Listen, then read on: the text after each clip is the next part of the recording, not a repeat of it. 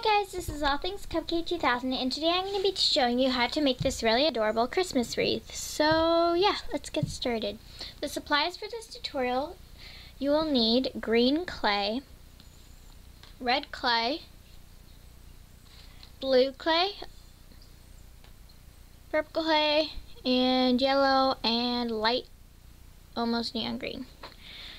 Okay, so the first thing we're going to do is we're going to want to make a red clay into a long snake. Okay, after, after you've done so, you're just going to want to measure how big you want your Christmas wreath and then cut it and then reassemble it again. Okay, so after you've done that, you're going to want to smush the Christmas wreath down so that it gets thicker. Make sure the circle inside is kind of um, still preserved, like it's still circle-ish. Okay, so now we're going to take a tinfoil ball and we're going to just texture the whole thing really, really well. Even the sides. Okay, after you've done texturing the wreath, it should look something like this. So now that you're done with that, you're going to make a long snake of red clay. so when you're done with that, you're going to just smush it down.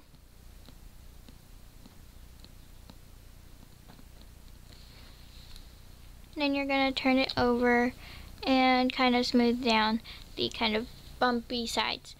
So then you're going to want to cut a little bit off smush it down a little more until you get what you like and then you're going to cut that strip in half. Then you're going to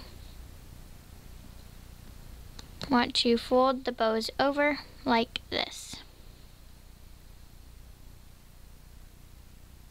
So do that to both sides. Okay so I make mine slightly bigger but as you can see I've attached it to one side of the top of the wreath and then the other side. Then you're going to want to kind of push up the bow. Then you're going to want to roll out another snake of clay. And flatten it out again.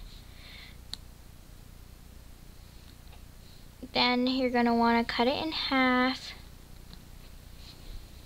Okay, after you cut it in half, you're just going to want to take the bottom and from the edge of the bottom to the top, you're going to want to cut and cut to make a little nook shape on the bottom.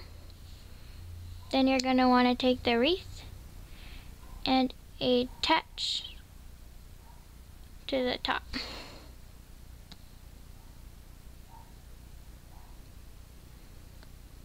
And do that to the other side as well. Okay, so after you've attached those two little pieces, it might be a little big, so try to like put it off to the side so that you can see the middle more. Then you're going to want to take the leftover, if you had one, of the long flat strand and place it in the middle. Like so.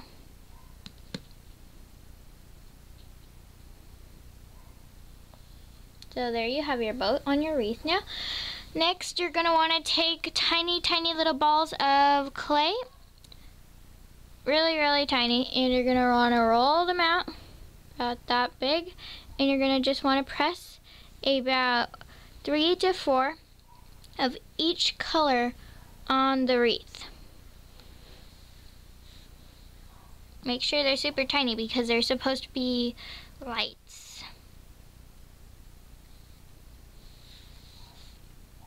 I usually like adding one color at a time, but you can do it any way you please. So yeah, that's how you make a Christmas wreath. So I hope you enjoyed this tutorial, and bye